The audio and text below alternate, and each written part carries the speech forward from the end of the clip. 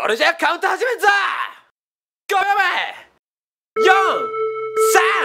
432 1 GO!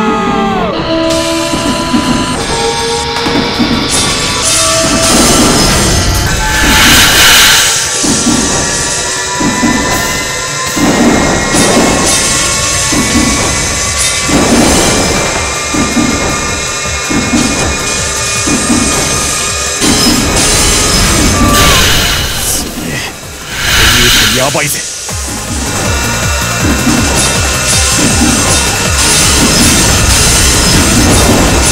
流れるようにスムーズだ吸い込ん。でそうだぜガリガリに攻めているわけでもない。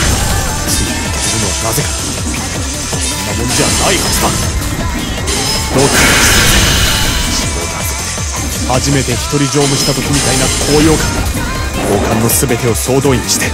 この体に刻みつけてやる。さあ見せろ。超人的な。スピードの本質を。タイムアタックなに攻め込んでる全然離れない。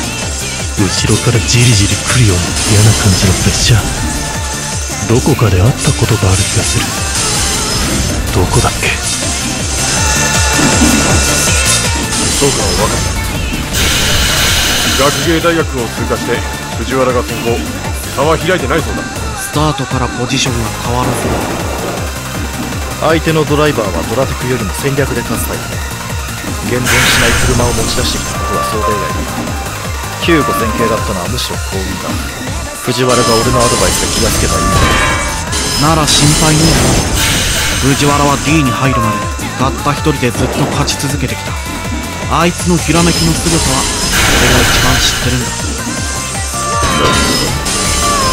関西最速ダウンキラーって聞いてたけどこんなもんなのか期待して損したなんかつまんないさっさとぶち抜いて終わらせろ俺何を言ってるんだ乗っ取られてるバトルに勝つことが目的なんだろだから誰が運転したっていいじゃないか。違う。そうじゃない。走り屋のプライドがかかってるんだ。俺が走らなきゃ勝っても負けても意味がない。契約は取り消した。今すぐ元に戻せ。わけがわからないよ。どうして君たちはそんなくだらないことにこだわるんだい？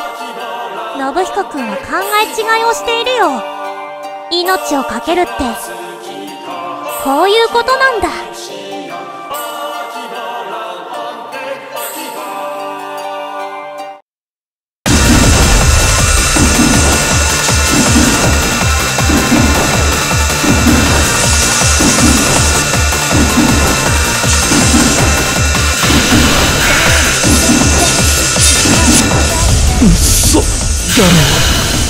こんなところであっさりと前に行かれた。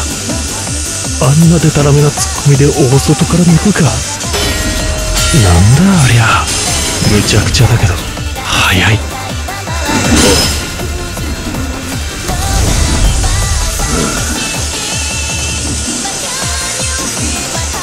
おっ思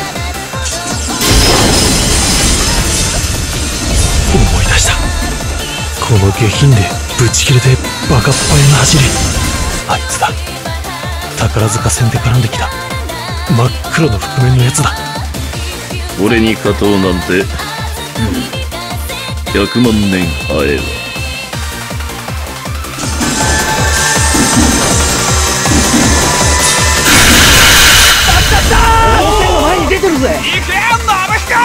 高級の底力見せてやれ武蔵小杉を通過5000が先行。さすがだぜ信彦このまま逃げ切ってくれ京子信彦がプロジェクト D に一泡吹かせてくれるかもだぜ。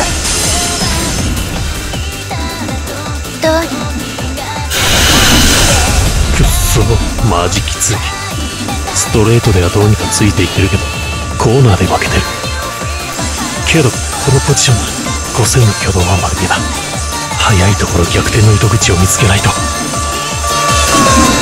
藤原が突っ込み負けするなんてただ事じゃないぞ本当に大丈夫なのか？わかんねえよそんなもん。藤原次第だ。心配ないって言ったじゃん。東横線は全長25キロと比較的短い路線だから。先に仕掛けて逃げ切った方が有利なのは間違いないが後半の戦術は藤原なら十分チャンスはある圭介の言う通り俺たちにできることは何もない藤原がそのチャンスを引き寄せられるかどうか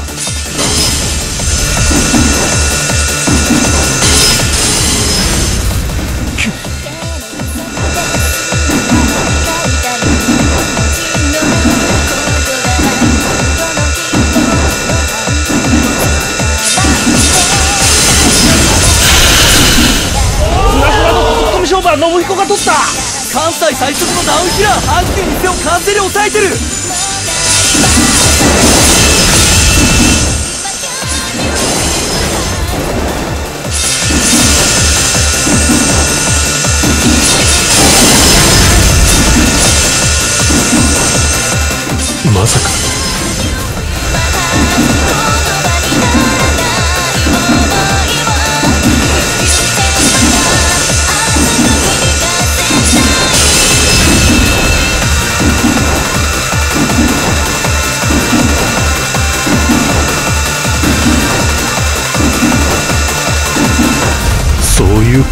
ことなのか？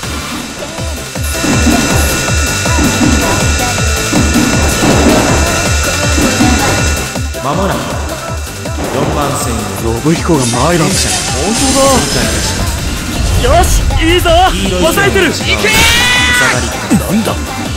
信彦じゃない。これはどういうことなんだ。聞くのも過ぎた。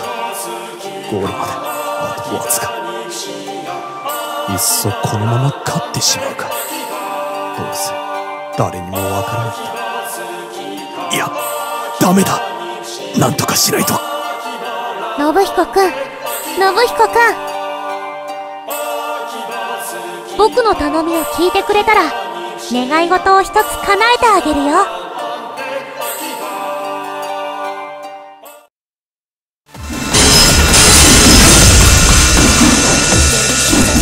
ちぎられないようついていくだけでもギリギリな相手だけど時々妙にルーズなツッコミをするのが気になってたんだ。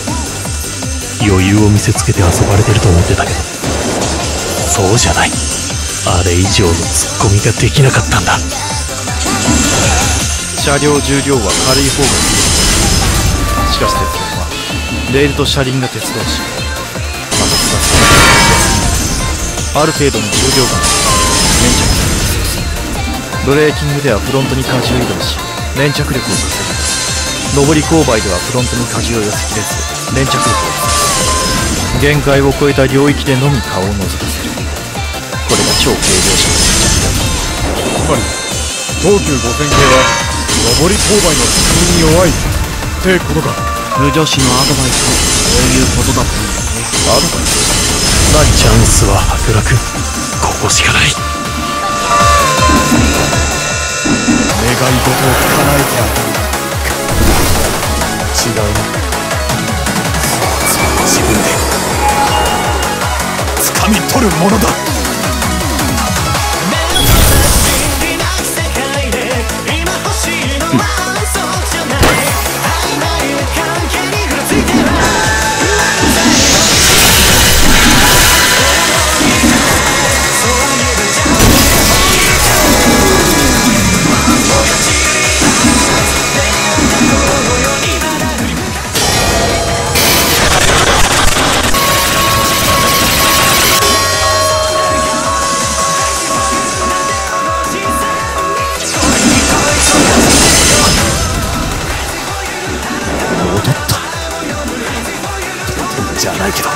ついていけないのは分かってる。